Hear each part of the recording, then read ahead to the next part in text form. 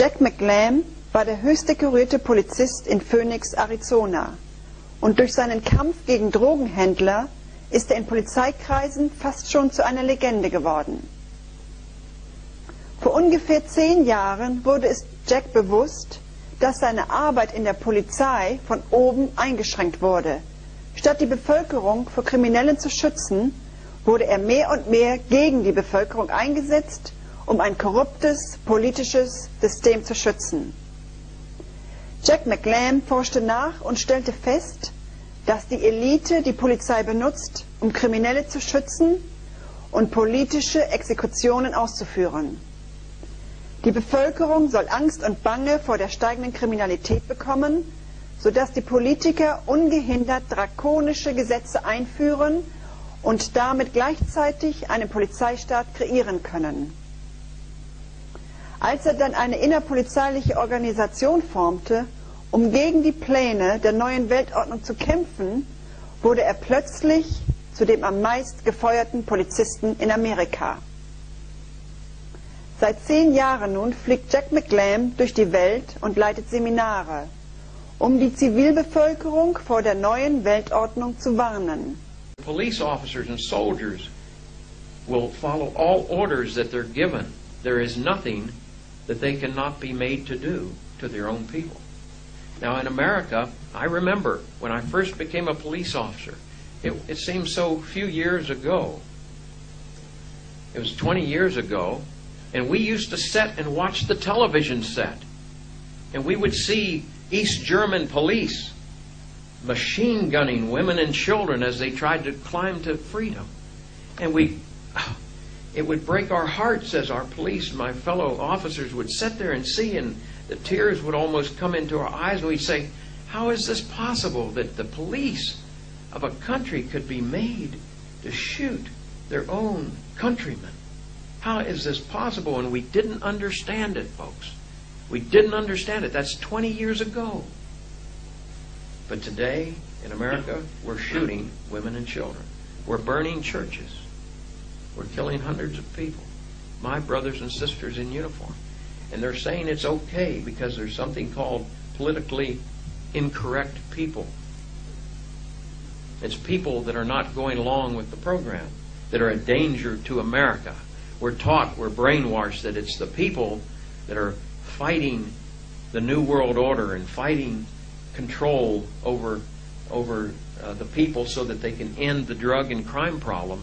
These people that are standing up wanting us to protect their rights are the bad guys. They're the ones causing our nation to fall because if we could just if the people would just give up their rights and freedoms, we officers would solve the crime problem, solve the drug problem, and we'd get America back on course.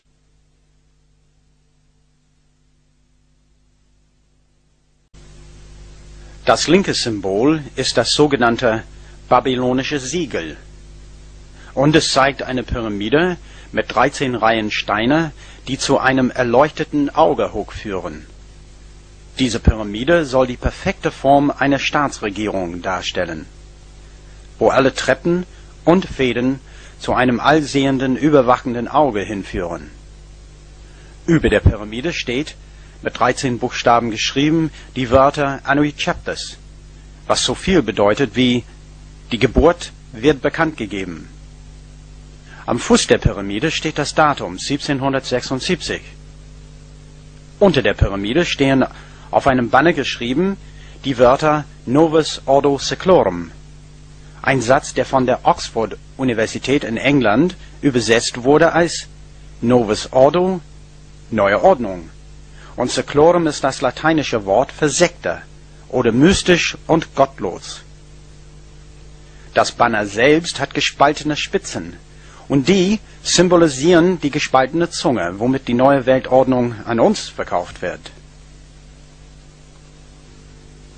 Auf der rechten Seite des Scheins ist die Rückseite des babylonischen Siegels abgebildet. Es zeigt einen Phönixvogel. Auf seiner Brust steht ein Schild mit 13 vertikalen Streifen. Über seinem Kopf ist noch ein Banner mit den Wörtern E pluribus unum zu sehen. Auch ein Satz mit 13 Buchstaben, der so viel bedeutet wie Aus vielen machen wir eins.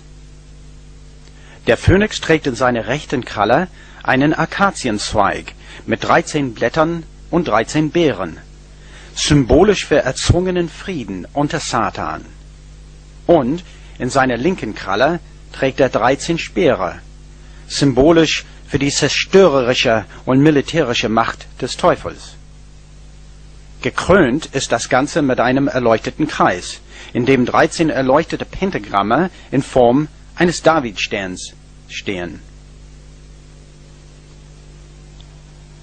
Diese zwei Symbole auf dem Dollarschein enthalten weitaus mehr Informationen, als ich hier beschrieben habe. Aber es reicht zu zeigen, dass die neue Weltordnung mehr ist als nur ein Spruch. Die diesjährige Bilderberger Konferenz soll durch Verzweiflung und Ratlosigkeit der Eliten gekennzeichnet gewesen sein. Das berichtet Journalist und Autor Daniel Estulin. Die Krisenherde in der Europäischen Union seien zu zahlreich, als dass sie gleichzeitig bewältigt werden könnten, berichtet der Journalist im Portal Propagandafront. Um die weiter anwachsende Krise zu lösen, schlage die EU-Regierung als Teil eines weitreichenden Planes eine gigantische Machtergreifung vor. Sollte diesem Plan zugestimmt werden, werde die EU-Regierung in Zukunft die Regeln festlegen und die einzelnen Nationen abstrafen, die die Regeln brächen. Das könne geschehen, indem man den Ländern das Stimmrecht entzöge, so Estoli. Unser erstes Interview ist mit einem ehemaligen Beamten, der wegen seiner jahrelangen Tätigkeit im australischen Geheimdienst anonym bleiben muss. Viele Menschen glauben, die neue Weltordnung ist der Zustand der Weltpolitik nach dem Zusammenbruch der Sowjetunion und des Kommunismus. Stimmt das? Nein. Die neue Weltordnung ist der Versuch einer Gruppe Internationalisten, eine selbsternannte Elite, die ganze Welt zu kontrollieren durch eine von denen aufgebaute Weltregierung. Sie wird diktatorisch sein, nicht demokratisch gewählt. Und da sie nicht gewählt werden, brauchen sie auch keine Rücksicht auf uns zu nehmen. Ein sogenannter Polizeistaat. Sie brauchen auch eine Weltarmee, eine Weltwährung, eine Weltreligion, eine Weltkultur. Privatbesitz wird nicht mehr toleriert und jeder Mensch wird registriert, bekommt eine Nummer und diese Daten werden auf einem Weltzentralcomputer gespeichert. Eine Weltarmee, haben Sie gesagt.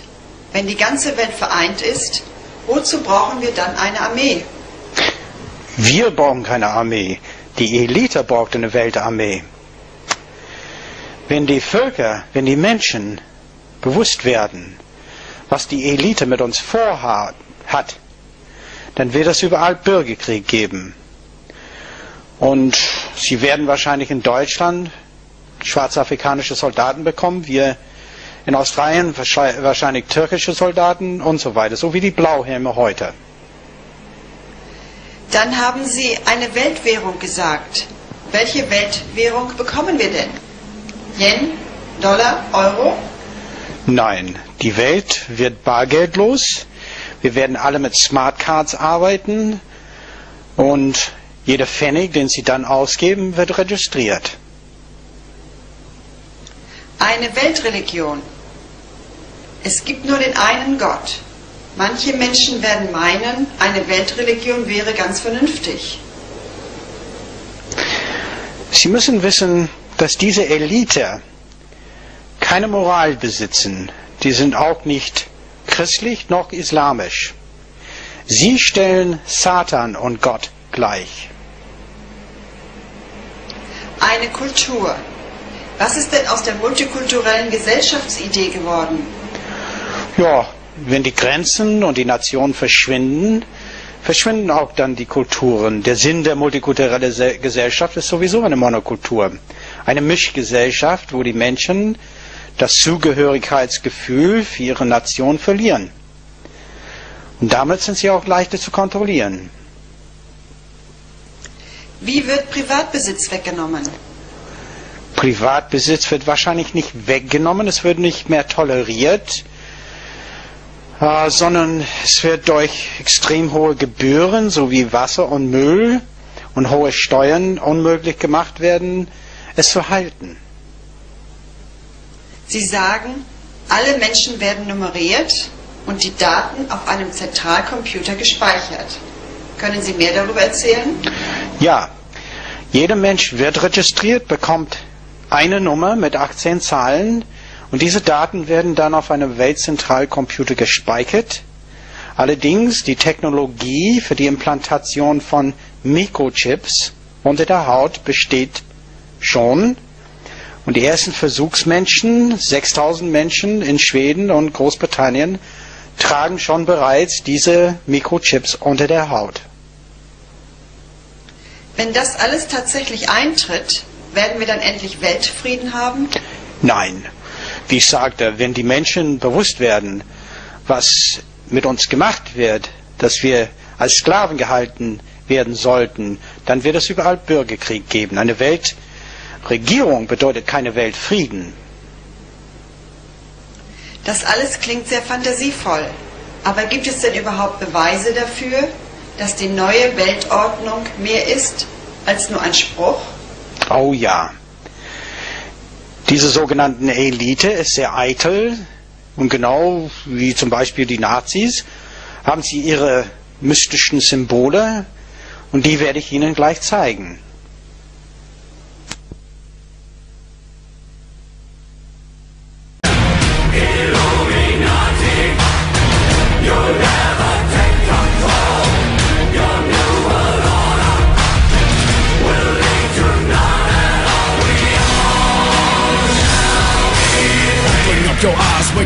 Up, America. Elite control your lives with fear, just staring you with terror on your screen, telling you what to believe. But who benefits from panic, hunger, and greed? Yo, that's how they feed upon the masses like a fucking disease. The only answer is to rise up, get off your fucking knees, tap into your inner being like a 33rd degree. I'm planting mental seeds for men to break free of an evil greed. You can't see, cause you ain't believing me, but I'm telling thee that television ain't true, just professionally manufacturing a fallacy and balancing your talents. We tragically waiting for things to fucking change magically and mystically. Rewrite our fucking history. This ain't no bullshit mystery. I'm locked to prison with the key. It's in your mind. It's the to see. Illuminati, you've come to take control.